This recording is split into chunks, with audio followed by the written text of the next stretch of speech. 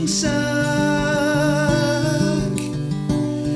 You should have been friends with the monster, then maybe you would have gotten the girl, you fucking idiot. You were so dumb, you were black.